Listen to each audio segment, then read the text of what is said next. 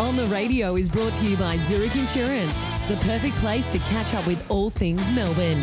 If you enjoy this content and want more inside access from the team, make sure you visit the club website. But the coach of uh, Melbourne is Mick Stinear. He's been there right from uh, day dot. Mick, it's great to have you back on SEN.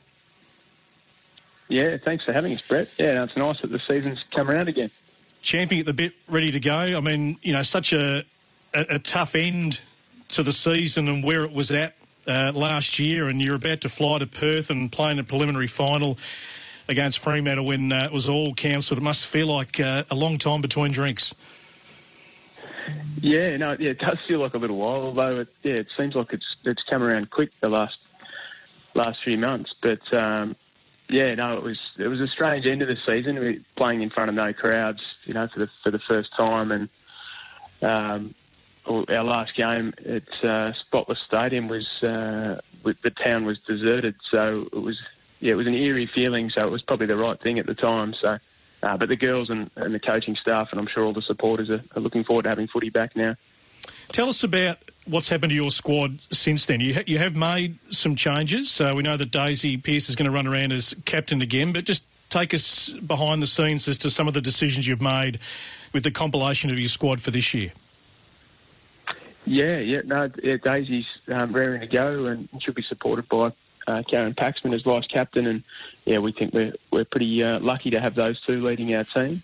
Uh, we've yeah, the trade period was a was a busy one for us, and um, unfortunately last year we had a lot of long term injuries, um, so change was needed, and then a number of players um, were offered uh, greater opportunities elsewhere. So that did bring about some change for us, and and out of that, we, we really targeted the draft and we brought in six 18 year olds. And, um, you know, there'll be two or three of those that will play and make their debut this weekend. So that'll be exciting. And, and we think, you know, for those girls, they've been playing footy most of their life. Like they've come right through juniors and yep. um, they've probably played 100 to 150 games of footy plus kicking the footy in the backyard and, and in the schoolyard. So their game sense and skill level and decision making um, is at a really strong level. So we're looking forward to progressing those players and, and hopefully they help take women's footy up another notch. And um, yeah, that was a that was a key decision. Um, I guess process uh, around that trade period was to invest in the youth and and try and set ourselves up to be successful this season, but for the next few years as well. It's it's a great point, Mick. I reckon you make about the acquisition of those young 18 year olds. I mean, obviously the AFLW competition was fast tracked about you know, three years, and we were thinking that it was going to start around now 2020, 21. And more and more as we tick through going into year five, we're seeing more of those players now emerging on lists who have you know, taken up footy from a, really, really young age and learned all the fundamentals, learned the game sense really well that they can hit the ground running as opposed to when you go back to year one, you've got some established players, you've got some code hoppers who are trying football, who have always wanted to secretly play football, but are very much learning the game from scratch. It must be a good spot to be in as a coach that you have got those players who have been taught a lot of the fundamentals and you just build on that.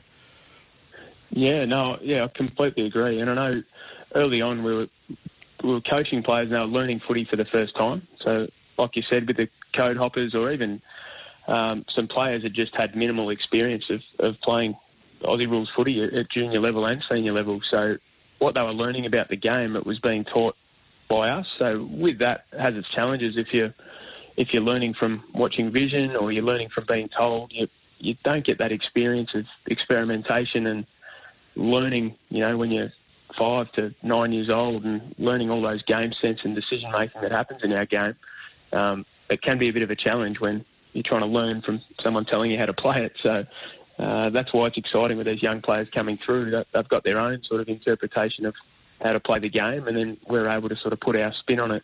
Um, and we think that'll be a, a more successful model. So, Mick, where do you feel like the list is at? Because from day one, Melbourne have been right around the mark. I mean, you know, we talk about last year flying to Perth to play in a prelim. You've been, you know, very close without being able to get to the grand final, without being able to, you know, to, to win a grand final. You've gone a little younger uh, in just realigning and reshaping your list. So where do you think you'll be at to have an assault this year?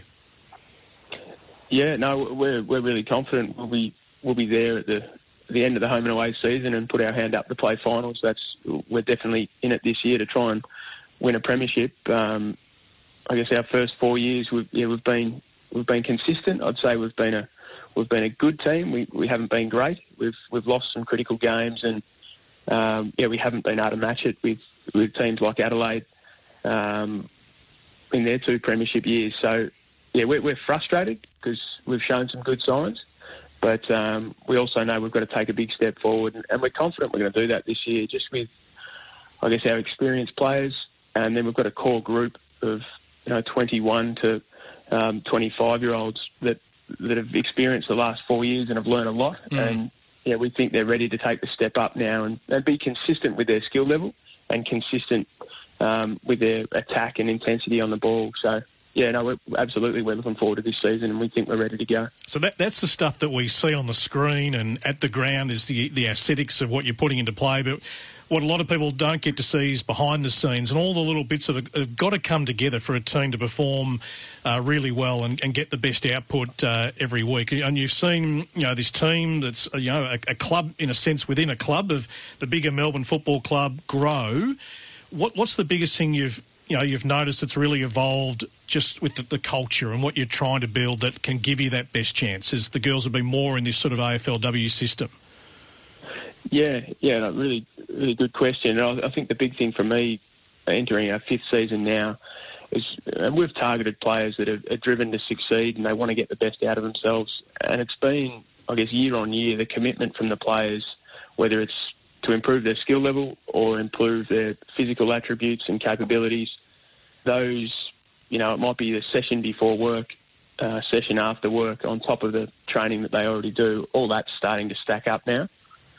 Players that are hitting the gym three times a week and are doing their running and now they're across their nutrition, like the the body shapes and body types and what they're physically capable of doing now, mm. um, power and speed. Yep. That's uh, yeah, I stand back in awe now of some of our girls, and yeah, it's it's, it's yeah, it's quite impressive. And, and now I hope that you know the fans get to see that now because the girls have done a hell of a lot of hard work.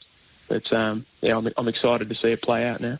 And Mick, just from a bigger picture, I mean, you've got your coaching duties. That's what you're uh, there for to really focus on. But I imagine you, you know, obviously you're constantly involved in those bigger picture discussions, not only with Melbourne, but just the the competition. And your input would be, uh, Seek. Just where do you think it's sort of all that at the moment and what, and what it can grow to. It seems like it's been done really well just to incrementally build it and build it, this competition over the first five years.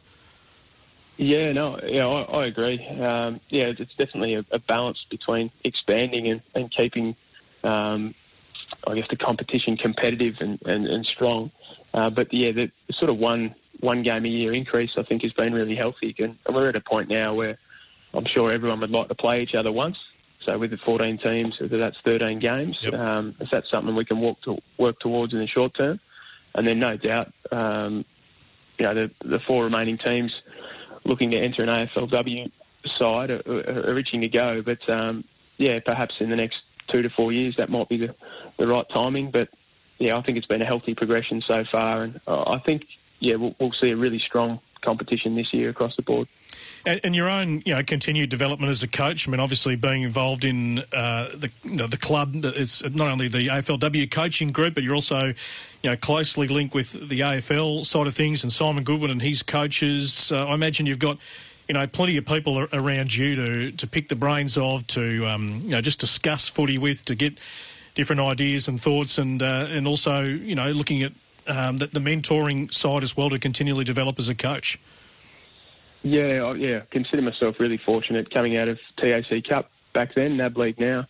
Um, was offered a dual role, so the, to coach the women's side, but then also be a development coach with the men's side. So I had four years of, of playing that role, and yeah, like you said, it was just exposure to some great coaches and um, a greater understanding of the game and not only it was almost like an apprenticeship. You'd, you'd learn from Simon Goodwin and the assistants during the day, and then you had an opportunity to implement it at night with the women's program. So it was a busy few years, but such a, a great opportunity just to learn and open your mind. And yeah, now I feel like I've been able to consolidate a lot of those learnings and and put that towards a really good program. And we've got seven other coaches in our women's program that I love working with, and yeah, we, we, think we're on the right track with, with how we're educating our players and setting them up to succeed this season.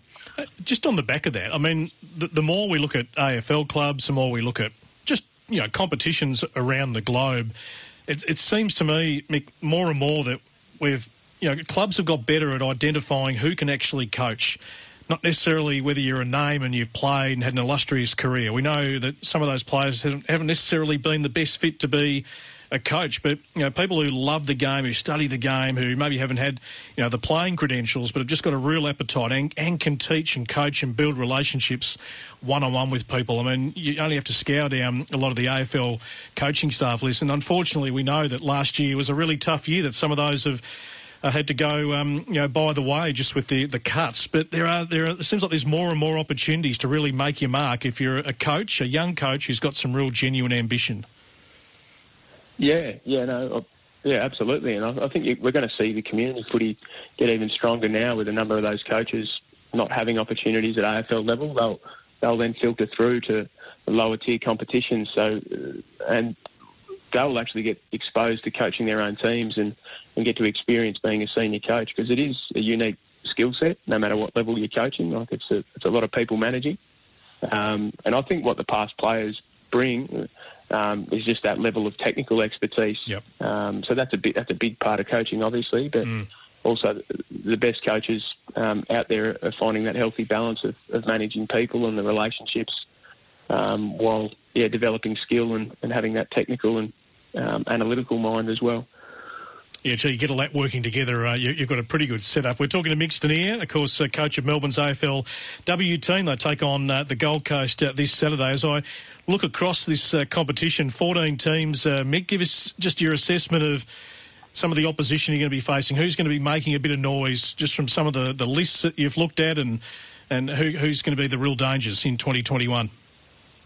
Yeah, I think most of my uh, assessments are based on how last season ended. But um, obviously, yeah, it's, it's been an interesting year. So, I mean, there'll be plenty of excuses for a lot of players with with lockdown or borders closed, and so it will be interesting round one just to see how everyone's shaping up and um, how everyone's handled the, the, challenges that have been these last 12 months. But yeah, my thoughts are, um, I think Fremantle. Obviously, they finished really strongly last year, and and Trent Cooper's he's done a great job with that side over the last few years. Um, Adelaide, looking at the scoreline, they kicked two goals, 21 mm. uh, in a practice match against GWS, and they've got Erin Phillips and Chelsea Randall back leading them. So that's a that's a bit of a scary thought once they get going. But um, I'd expect those two teams to be up there, and um, Carlton, Collingwood, and North Melbourne look like um, they're going pretty well at the moment as well. But I think what, what we've learnt, particularly over our last four years, that um, any team can win on any given day. Um, women's footy, the, the girls, they, they crack in around the ball at a, yep. a ferocious intensity. So if, if one team can maintain that longer from the other, they, they generally get the uh, get the win on the day. So yeah, we certainly need to be on our toes each week and be ready for anything. Going to be a great competition, really even. One last one for you. I mean, you mentioned a lot of this, you know, young talent coming into your lineup. Is there a couple of names you can give me, Mick, just that, just you know, Brett, keep an eye on, keep an eye on these these couple. Not necessarily to pump up their tyres massively, but the ones you've uh, really liked on the track who can really make an impression in this AFLW season. Yeah, I think two for me, just off I guess the pre-season and then uh, practice matches in the last few weeks. But Tyla Hanks is one who's yep. she's definitely ready to take a step up, and she's someone we've really valued over the last few years, but she's now has that genuine belief in herself and her ability, and she's matched that with an increase in um, endurance and power. And yeah, she's she's one that you'll definitely notice when she's playing, working through the midfield and spending a little bit of time up forward. Uh, and then Lily Mithen was someone that was tracking really well last year, but um, spent half the year on the sidelines with an ankle injury. Um, yeah, she's now taken another step forward just with her she's tenacious around the contest, but yep. now she's complemented that with some decision making and, and good ball use. So she's uh, she's one I'm excited to see her play and enjoy a full season this year. Yeah, daughter of Anthony, going uh, beautifully. A really good young talent. Mick, really appreciate the chat and uh, all the very best. As a coach, uh, can feel like an eternity a pre-season. Obviously, there's been some uncertainty around the fixture, but we're locked and loaded, ready to go. You've got the Gold Coast on the weekend. Uh, I wish you all the best and uh, really uh, appreciate your time. Thanks, Brett. Appreciate it. Looking forward to it.